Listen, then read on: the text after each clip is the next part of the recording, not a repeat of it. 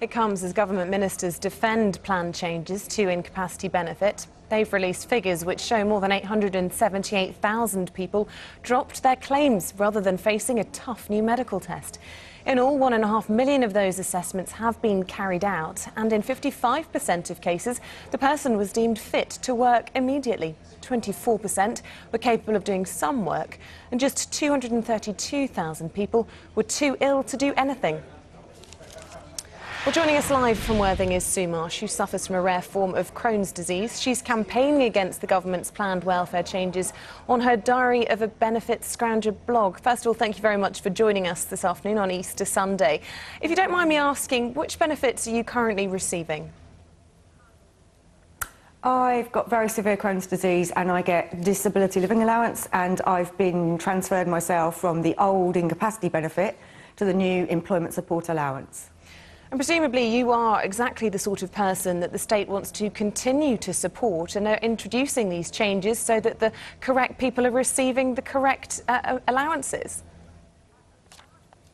If only that were the case. Um, I was lucky. Um, I, I campaign in this area, so I guess, you know, I, I, ought to know how to fill the form in. Lots of people don't know. They think um, that they have a serious condition, perhaps cancer. They write on the form, I've got cancer, they send the form in, they don't get the benefit. So I'm afraid it's an absolute lottery. It isn't just a case of saying, oh, the government wants to support people like you. Thousands, hundreds of thousands of people like me actually don't get the benefit when they do transfer across.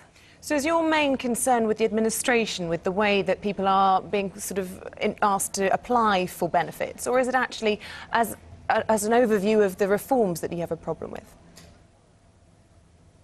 Um, I think uh, most people support the idea of reform. Most people support the idea of an assessment. They want that assessment to be fair. Um, they don't want to turn up and be go through a tick box system. Um, they don't want to be treated as though they've got something to prove, as though they're somehow guilty until they can prove they're innocent. Um, it is very much the way we do these these these changes. Um, and today's a perfect example. The government come out on an Easter Sunday. They say that 900,000 people chose to drop their claims. That's absolutely not the case at all. In all of these things, you mustn't look at it like a static lump of people. People come on, people come off the benefit. Um, and in fact, what happens, you know, as with any group of people, sadly, people die. Other people find work they can fit around their disability. Um, other people stop their claim um, for, for numerous reasons. Some people have found after one year on the new employment support allowance, the government are simply saying you're not entitled to the benefit anyway, whether you've got better or found work. There's many many reasons why people drop their claims. There's many reasons. And in fact, the government did this before. They did it with the employment support allowance. And it turned out that 94% of people had actually found work or got better. People are honest. On the whole, people um, will come back and say, actually, you know, there's a three-month qualifying period. I didn't realise I've got better. I don't need the benefit. Thank you. That's what the government's own figures showed. But so you're saying people are honest, but the government figures say that one and a half million people who had these medical assessments taking place on them, 55% of them were actually capable of going straight back to work immediately.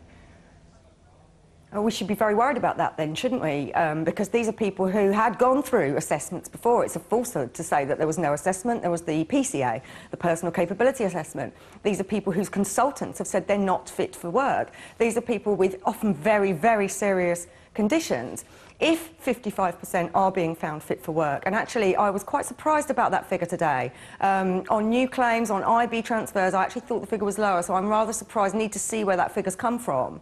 Um, I think we should be worried about that. I don't think it should be trumpeted as good news. Clearly, perhaps some people with the right support can work. That would be fantastic. The, the support isn't there. The government actually aren't supporting people into work. Um, you might get a bit of help putting together a CV. Many of us have very complex needs, and if that was all we needed, we'd be working already.